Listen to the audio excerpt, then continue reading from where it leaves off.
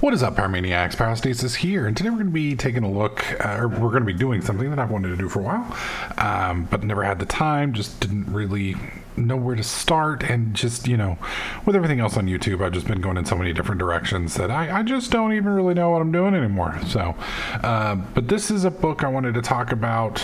Uh, It had some great things, and it had some awful things, uh, and I just kind of wanted to discuss that and get some opinions from you guys. And um, I do want to say that if you're listening to this right now and you have not read the book or listened to the book, and that's something you want to do, stop here. I will be discussing spoilers in this. I don't want to ruin the book for you. It is a good book worth reading, even though it does have some flaws that I think should be fixed. Um, granted, book came out over 10 years ago, so I, I think this is the final product that we're getting, and it, it's not going to get updated, but uh, it is what it is. Um, so yeah, if you'd like to check this book out, I will have in the video description links to the Audible version and to the Amazon version. Both of those, or at least the Amazon version, will be in an affiliate link, which means if you click on it, I'll get a kickback.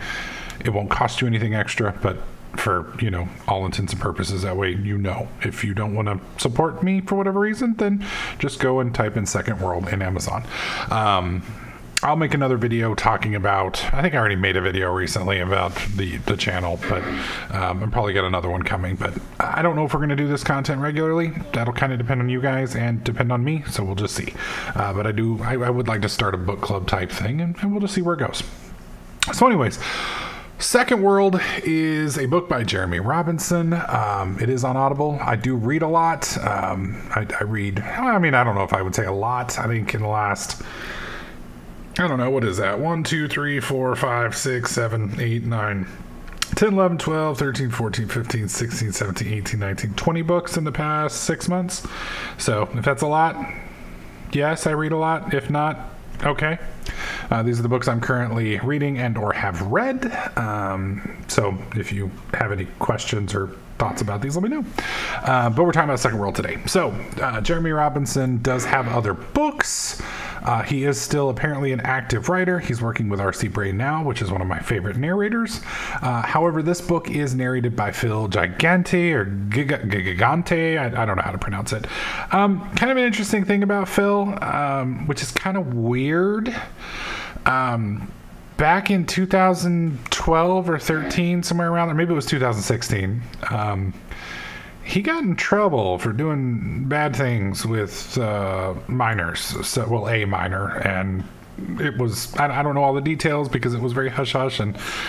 Uh, but it, it, it blew up for his he, he apparently did like a romance novel setup or something or other um, and then like he disappears off the face of the planet and then he came back this year which is kind of interesting because we live in a world where uh, you get canceled for saying the wrong words about politics or religion or some shit and this guy did bad well he anyways you can go look it up if you're interested but i don't know what all he did or didn't do but he got in trouble got caught and yet he can still do his job which i guess everybody has a chance to earn a living but keep that in mind that this guy has a sordid past, which is really awful because I liked his narration. It's it reminds me if anybody ever watched the Dave Chappelle thing, uh, or any of Dave Chappelle's stuff, he has this skit or bit or whatever you want to call it where he talks about Bill Cosby and he's like, you know, Bill Cosby, you know, he did great things. He had these, you know, uh, foundation set up to pay for people's colleges and and helped you know disaffected youth and underprivileged people. And he saved a lot of people and made a lot of changes to people's lives. But he also raped some people. And you know and then he went into all the bad stuff he did and he went into all the good stuff he did. He's like i guess what i'm trying to say is he raped but he saved more than he raped. And i'm like wow that's kind of a fucked up way to look at it but anyways, if you like Dave Chappelle, or if you found that funny, or if you found it disturbing and want to know more, there's this. You can Google that too. But um, so yeah, keep in mind if you decide to get this book. Um, Phil might not be a nice guy, but I don't know the details, so I'm not going to say one way or another. Uh, although coincidentally, he did just get into the. Let's see newest rivals. I think it's the Sword of Shannara series, which I want to say Terry Brooks is kind of well known. So it's a little weird because he's basically done this entire series for this guy. But if you look, like some of these books weren't really all that good, and then these are the I think these are the the ones that he did back in the day before he, he did the bad thing. Um, anyways, uh, he's a great narrator, but he, he has apparently questionable morals. So keep that in mind if you decide to get this on Audible. You may or may not somehow support him. I don't know how royalties work. Hey, hey, Maple, get over here. I don't know how royalties work with uh, audiobooks, so keep that in mind if that's something that concerns you. Uh, and it probably should. Uh, I was unaware of this until after I'd already purchased the book, so I was halfway through it. So, anyways, enough random talking and bullshit about some dude's possible dark past from back in 2016.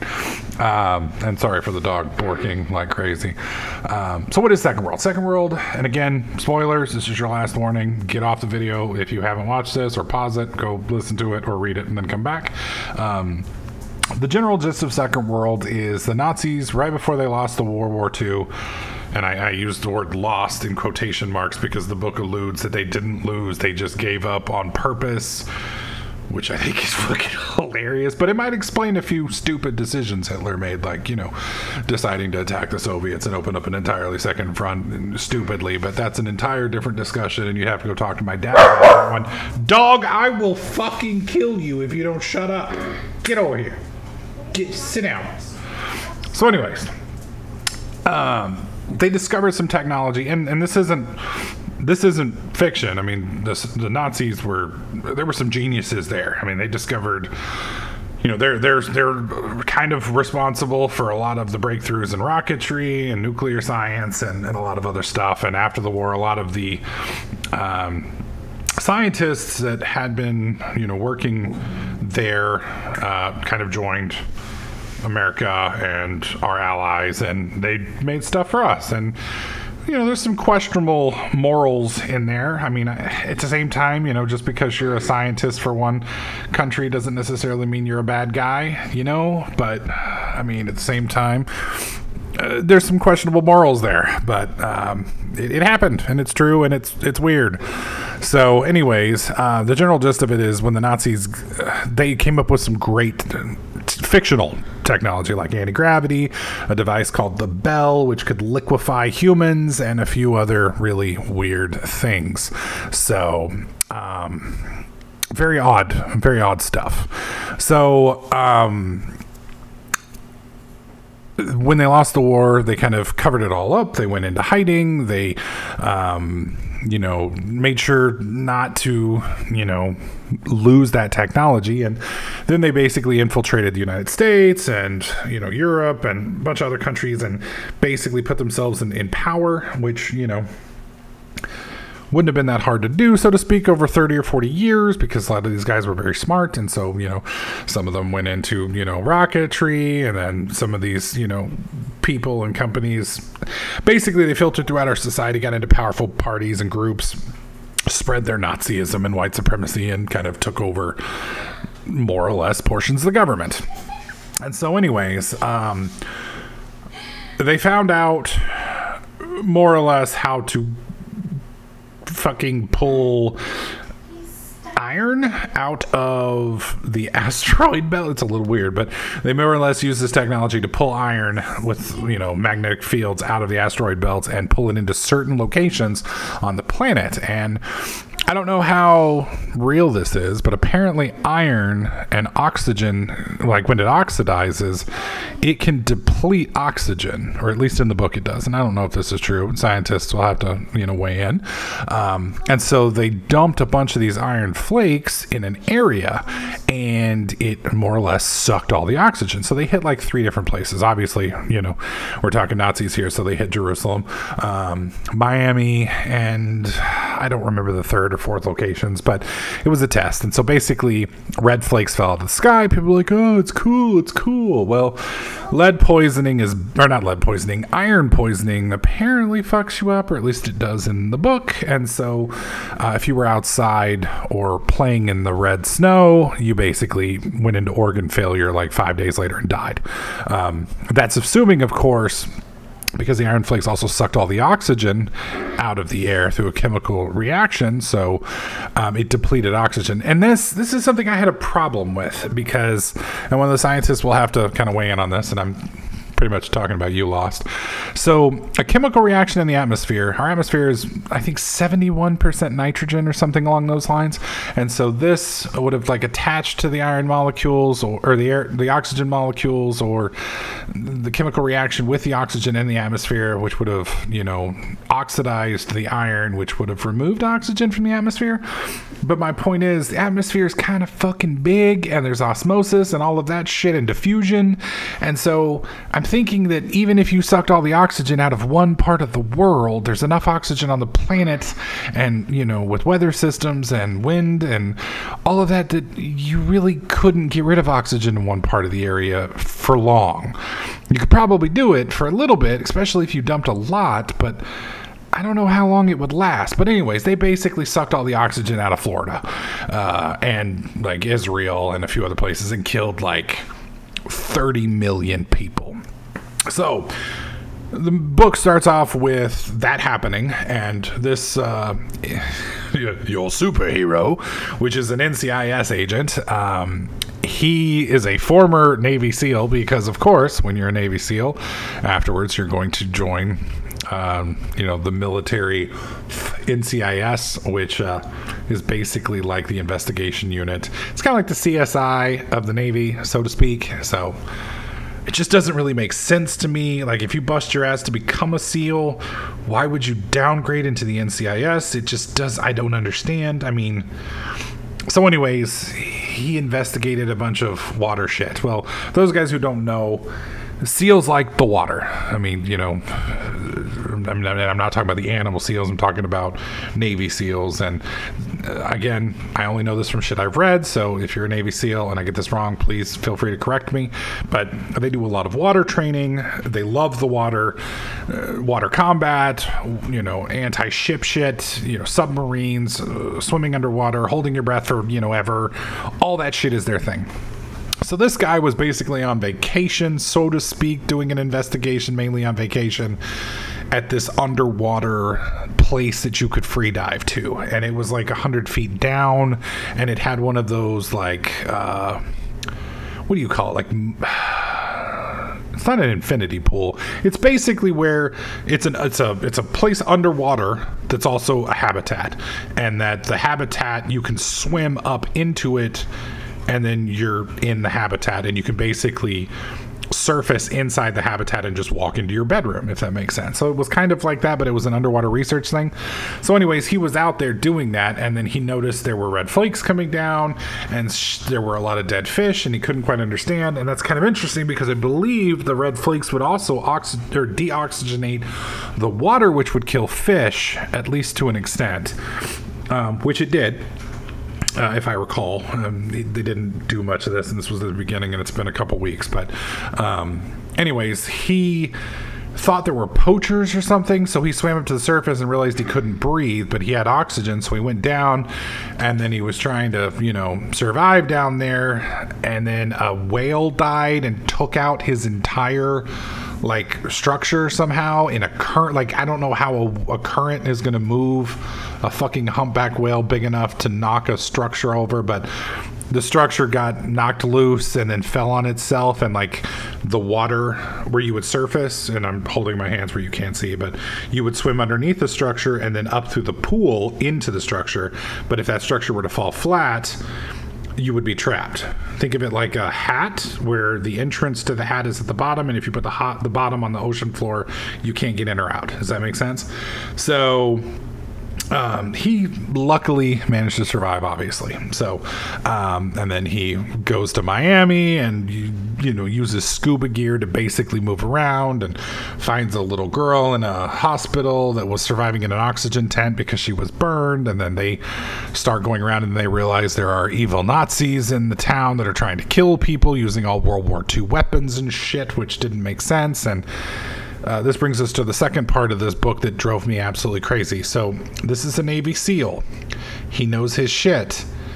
And he constantly called magazines for a gun clips. Always, every single fucking time, never called in a magazine. I know that's a stupid thing. It only bugs me. I'm sure it doesn't bug most people. And colloquially, I think everybody understands that a clip is what the average individual that doesn't know anything about guns might call a magazine. But if you're going to be representing someone who's a Navy SEAL, calling it a clip is just not accurate. I don't think people in the military call magazines clips because it's just not what it is. You know, Uh, it's a semantics thing, but a clip is something that you would feed into an M1 Garand. It is a totally different thing than a magazine. I know it's stupid. I'm into guns. It bugs me if it's a minor thing, it's no big deal, but it's mentioned like literally like 150 times in the fucking book, and it just every single time it's like being stuck in the eye. So that should be fixed, in my opinion. Um, and it might have been in the in the writings. Keep in mind, you know, when you pay a, a narrator to read your book, you can't exactly be like, "Hey, Bill, I need you to go back through that, you know, uh, 11 hours and 20 minutes of audio dialogue, and every time you say the word clip, just." Go ahead and replace it with magazine if you wouldn't mind. Yeah, that's a pain in the fucking ass. So, you know, it is what it is. My second big complaint about this book, and I'm not going to go too much further into it because I don't want to ruin everything for you, but there was a scene later in the book uh, it was one of the final moments, so to speak, of the book. And I haven't actually gotten to the conclusion here. I think I have 10 minutes left, 15 minutes left of the book. Well, why didn't you just listen to that before you got to doing this? Well, I meant to, but I ran out of time, and this thing was bugging the fucking shit out of me. And I need to ask scientists that are on my channel. Yes, I'm talking to you, Lost, to maybe explain this to me. So, in the book, they like to suck the oxygen out of places. That's just their thing. I don't know why. It's just their thing. So basically, the Nazis were gonna.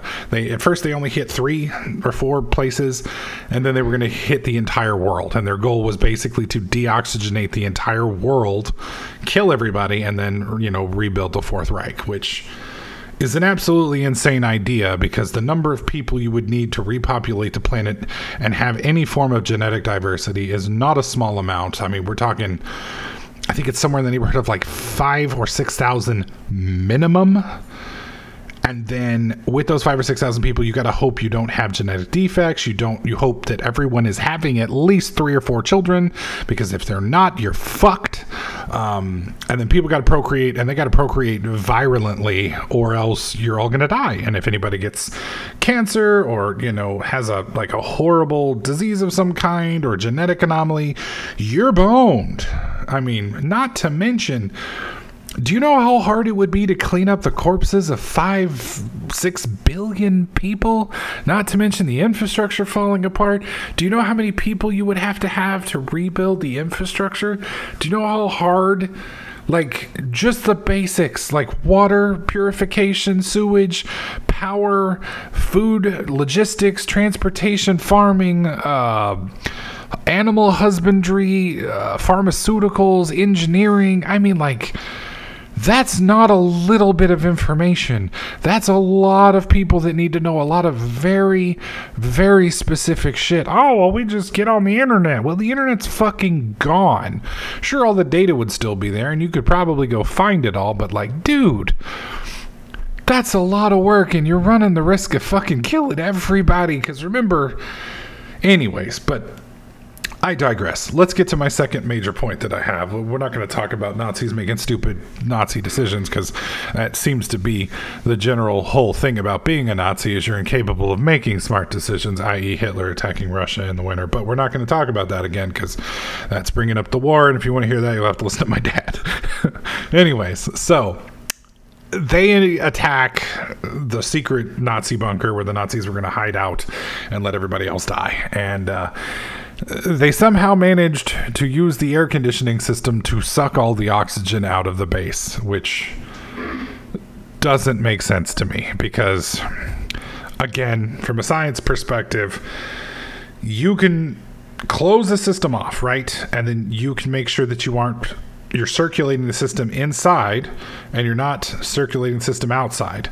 And you can use pressurization to make a vacuum but I don't think you can just suck the oxygen out of a giant underground bunker functional for over 5,000, 10,000 people, somewhere around there, with an air conditioning system. It doesn't make sense. But okay, I'll give it to you. We'll just, I'm giving it to you. It doesn't make sense, and you're still using the word clips, and it's still driving me absolutely batshit, but I'm okay with it. But the part I couldn't handle and I'm sorry, Jeremy. I liked every other part of your book if you're listening to this, and I'm not trying to flame on you. And I'm sorry if I'm coming off that way, but this drove me nuts. The hero is in a warehouse and he's having a fight against a guy, and basically a giant robot tripod death robot mech thing. It's got two Gatling guns on it, which would kill anybody, and then two bells on it, which can liquefy humans. Um, and that's a Nazi weapon. They call it the bell. We're not going to talk about it, but it basically turns a human into liquid. It's crazy, but it just go with it. So, anyways, he's only using the bells instead of the Gatling guns, which would kill the guy, but he's using the bells because he doesn't want to damage the Fuhrer's car. Right. Okay. So they've sucked all the oxygen out of the place with the air conditioning system. So there's no more oxygen. And again, I don't know how you could do that without making a vacuum, which would have fucking killed everybody eh, with exposed skin anyway by making their blood boil but apparently they just sucked the oxygen out and left all the other stuff so we're just gonna for the for the sake of things assume they just somehow sucked the oxygen out and they left nitrogen okay or some other gas but the oxygen is gone. So the hero gets into hitler's crate where his car is. And apparently, Hitler liked this Mercedes that was a six wheel tank thing. I don't understand it. I didn't look it up. I probably could look it up, but apparently, there were only like eight of them made. And the guy in the Doom mech won't shoot him because with the Gatling guns that would go through the car and kill him because he'd fuck up the Fuhrer's car. And then the Fuhrer would be really unhappy after he was, you know, brought out of hibernation, you know, for the last 60 some odd years or whatever. So. So the hero crawls into the car and then tries to start the car with the key that's conveniently in the ignition in the crated car from the 40s. And the car won't start because, quote unquote, there's not enough oxygen. And he's using a gas mask, or like a rebreather. So, well, he, they call it a pony bottle, which is apparently does exist. It's like a little, let's see, pony bottle. It is a little bitty like oxygen thingy, and it's smaller, and apparently can fit on a utility belt. It's this thing here, not this thing here. So it's still pretty big, and apparently they didn't notice him having it on his utility belt, but we're not going to talk about that. Um, so, anyways, he's breathing on that while fighting the giant guy in the mech. He gets in the car, tries to start it. Car won't start because there's no oxygen. Okay. Well, internal combustion needs oxygen, right? Okay. So internal combustion is made by fuel injection, or I guess I don't know how old cars work. I know there's a carburetor or some shit like that. And basically, gasoline gets pumped into the engine and then ignited with spark plugs, and then you have fire, right? But you have to have oxygen to have fire, right? Yes. Okay, without oxygen, you can't have fire. Now, I'm sure the scientists are like, oh, but wait, sir, you can have other gases and maybe you can have fire. I don't know. I don't know science shit but you couldn't in the book have fire. And he literally said this oh, there's no oxygen, therefore it won't work. So, in the same fucking chapter, immediately he exits the car, takes a knife, punctures the gas can, so that now gas is pouring out on the ground under the car. And then he, you know, runs away from the the Doom Trooper and then stands out in the open so the Doom Trooper will face him. And the guy's like, ah, ah, I have you now. And he's like, oh, do you? And then he shoots the gas and the gas explodes, which then makes the top of the warehouse collapse and not kill the guy, but just bury the mech. So I don't understand, and this drove me nuts. I don't understand how you can say, well, we can't have combustion and the car won't work, but if we puncture the gas tank and shoot it with a bullet, it will explode. Because as far as I know, to explode, gas is gas itself i understand it is flammable but it's not explosive the gas vapor that comes off of gas so gas in the vapor form is explosive Um, but both of those to burn or explode, you have to have oxygen. And there's none because they're all having to use breathing apparatuses and people are fucking dying because they sucked all the oxygen out. So if you literally can't drive the car, then you also can't explode the freaking gas that you couldn't drive the car with because it wouldn't light, but now it's going to light. No. Why? So yeah, those were the two major problems I had with the book and I I literally had to stop after that fight because I was just like, "What?" And I had to go back and listen to it again to make sure I hadn't missed anything, but I mean, and it's not the overall. I mean, the overall arc of the, the, story is great. I liked the overall arc. I like, and I, I'm hoping the conclusion's good. I got like 20 minutes, so I'm gonna go listen to that right after this.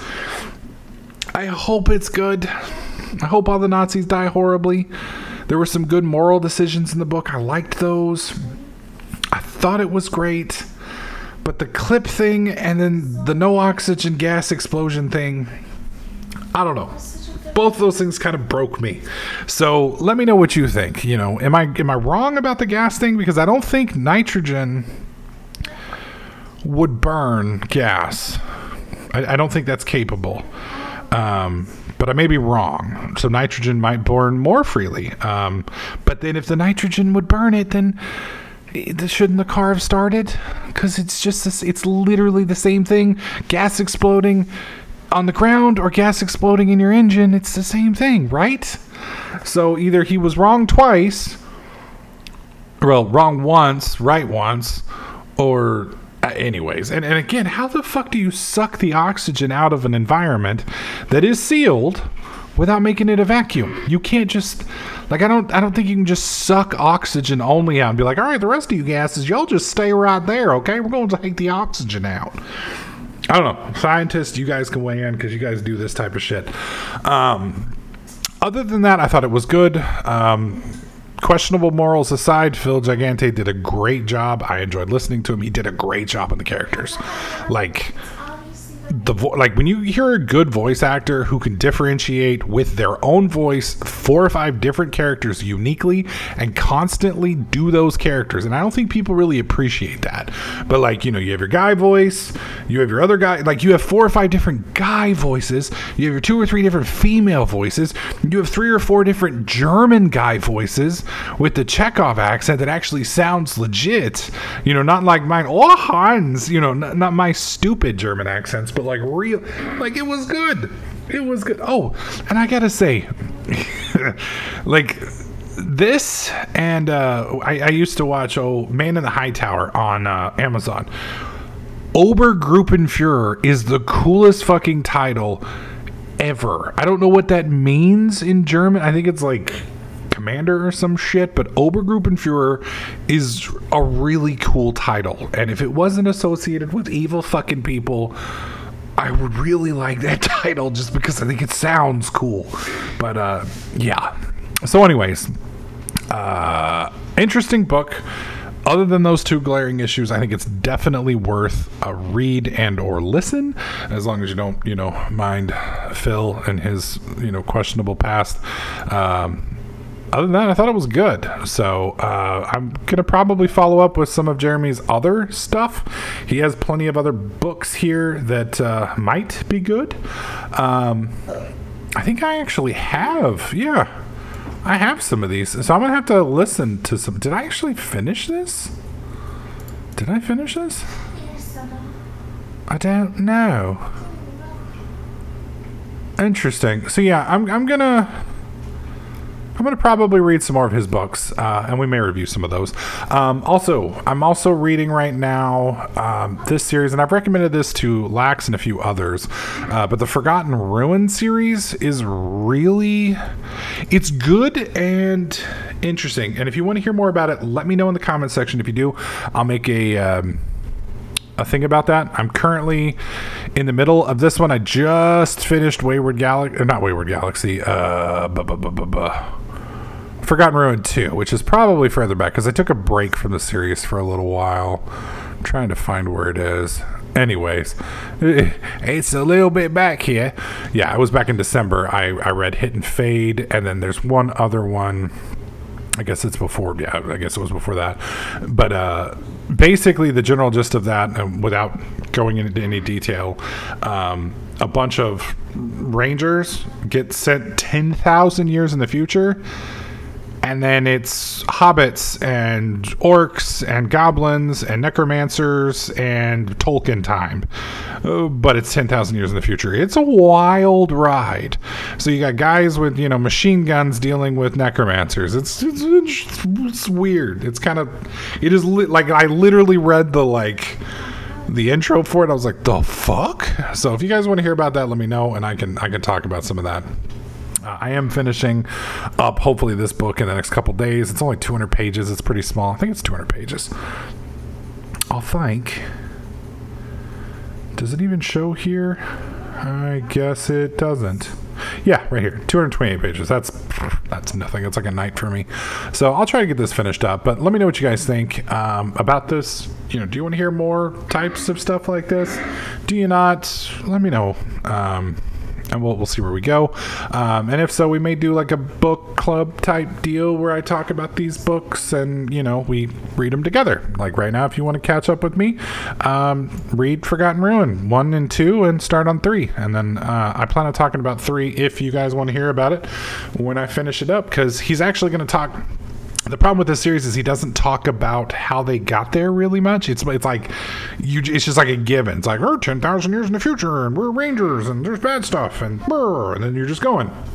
So in this, at the end of the book, apparently he explains all that shit. So I'm kind of, you know, I'm I'm not really into fantasy, but it's kind of interesting, um, and I kind of want to see how he did it. I'm thinking nanobots or something, or na- not nanobots, but anyways, I'm talking too much. If you want to hear it, let me know. I'll do another video. Uh, thanks for watching, guys. If you like this video, hit the like button, leave a comment in the comment section. Both of those things dramatically boost the algorithm. Subscribe if you haven't already. There's a join button down below if you'd like to uh, help support the channel financially for whatever crazy reason. Um, that being said, that's it for me. You guys have a great night. Enjoy your week, and I'll catch you guys next clip.